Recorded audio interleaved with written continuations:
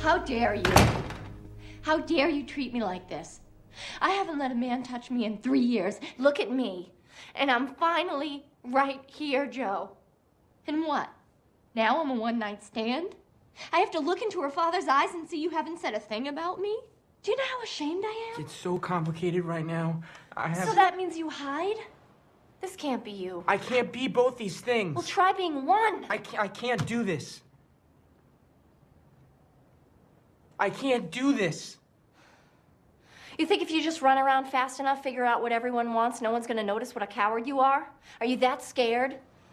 You sleep in that house, you eat their food, you act like every day is just another Sunday. You think if you just keep it up, these people won't notice their daughter's missing? What are we doing that's so different?